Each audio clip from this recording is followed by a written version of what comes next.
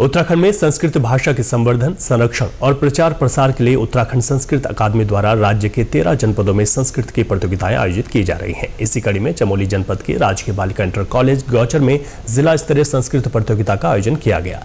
इसमें जूनियर और सीनियर वर्ग के लिए संस्कृत में नाटक, वाद विवाद समूह गान आशुभाषण संस्कृत समूह नृत्य, श्लोक उच्चारण जैसी कई प्रतियोगिताएँ आयोजित की गई हैं। जिला संयोजक दशरथ कंडवाल के अनुसार, उत्तराखंड संस्कृत अकादमी की इस पहल को लेकर छात्र छात्राओं में काफ़ी उत्साह देखा जा रहा है। उन्होंने बताया कि यह प्रतियोगिताएँ जनपद के नौ विकास खंडों में आयोजित की गई है। ये हमारी संस्कृत अकादमी हरिद्वार के द्वारा आयोजित आज पूरे राज्य में तेरह जनपदों में संस्कृत छात्र प्रतियोगिता का आयोजन किया जा रहा है।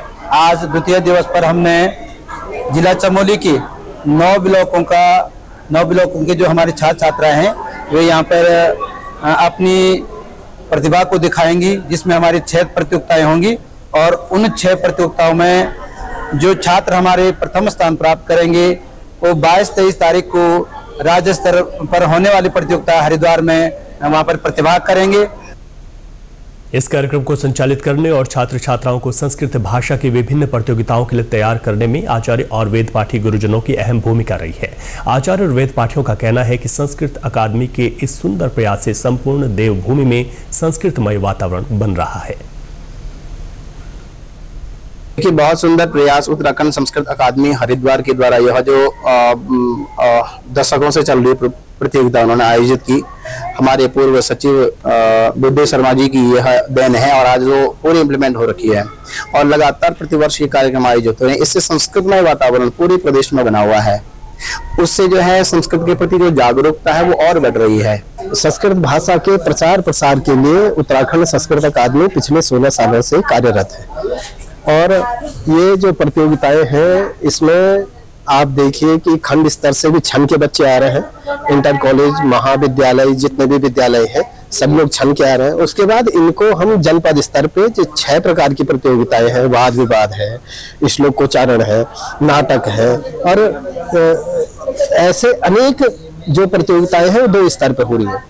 मैंने पहला कनिष्ठ और दूसरा वरिष्ठ। तो ये एक संस्कृत भाषा के उत्थान के लिए एक महत्वपूर्ण पहल हमारी सरकार भी कर रही है। इस आयोजन में प्रतियोगी छात्र छात्राओं के द्वारा मनमोहक प्रस्तुतियाँ भी दी गई। छात्र छात्राओं का कहना है कि इस प्रकार की प्रतियोगिताओं से वह बेहद खुश हैं।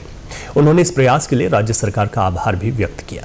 हमारी सरकार ने काफ़ी अच्छा बच्चों का मनोबल बढ़ाने के लिए काफ़ी कुछ प्रयास किए हैं और संस्कृत भाषा को ऊपर दर्जा देने के लिए काफ़ी प्रयास किए हैं, जिस वजह से संस्कृत महोत्सव है। इसमें कई बच्चे अपने संस्कृत नाटक कार्यक्रम जो समूहगान होते हैं, लोकगीत या जो कनिष्ठ वर्ग वरिष्ठ वर्ग, इस तरह से कराए जाते हैं, जिससे कि सारे जो बच्चे हो वो संस्कृत के यहाँ केवल संस्कृत के नहीं, यहाँ संस्कृत के विद्यार्थी तो हैं ही, साथ में यहाँ कई विद्यार्थी ऐसे होते हैं जो संस्कृत के लिए काफ़ी प्रयत्न करते हैं, संस्कृत के लिए, संस्कृत भाषा को ऊपर रखने के लिए काफ़ी प्रयत्न करते हैं, काफ़ी तरह के प्रोग्राम्स वगैरह।